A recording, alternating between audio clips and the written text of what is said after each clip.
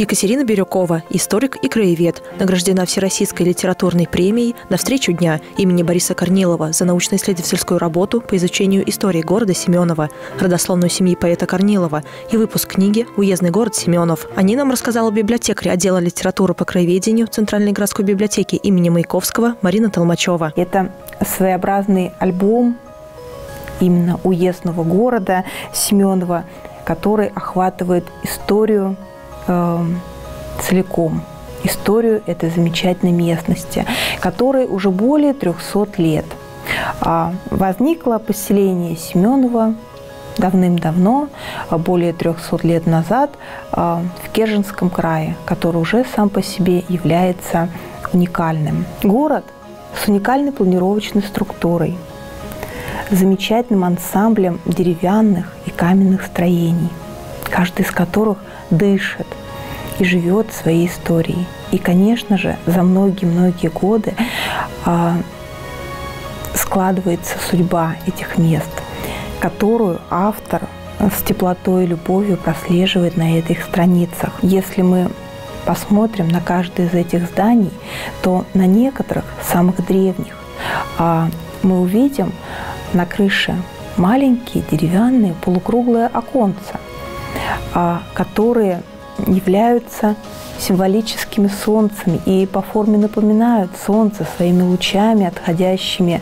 от этого оконца в разные стороны, очень красиво деревянно украшенными, украшенными деревом. А, и являются они символом достатка, красоты, любви и уважения друг к другу а, жителей этого древнего города и раскрывают в себе старообрядческую традицию. Еще одно уникальное ремесло, которое живет испокон в этом городе, это ложкарное производство. Ложки делали всей семьей, от мала до велика.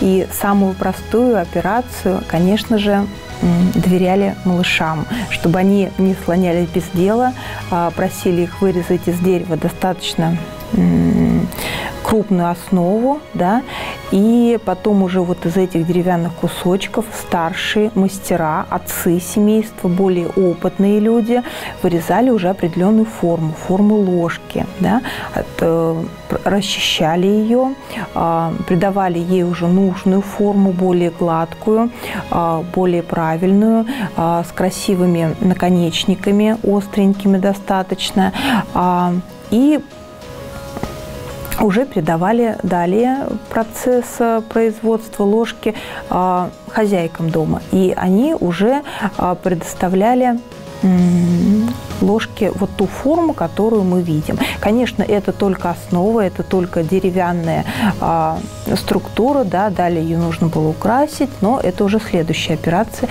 о ней мы не говорим в данный момент.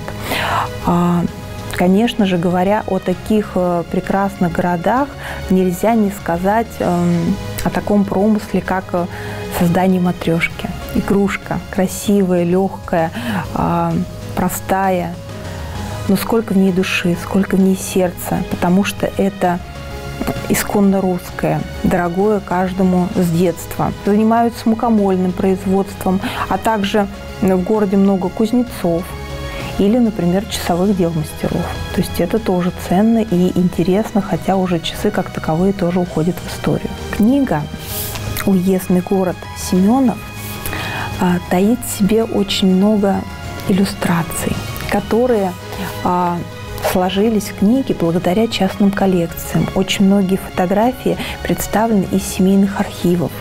Также были подключены и архивные документы, которых тоже великое множество в книге. Именно поэтому книга а, становится для нас на вес золота. Познакомиться более подробно с этим уникальным изданием можно, придя к нам в отдел литературы по краеведению, Центральную городскую библиотеку имени Владимира Владимировича Маяковского.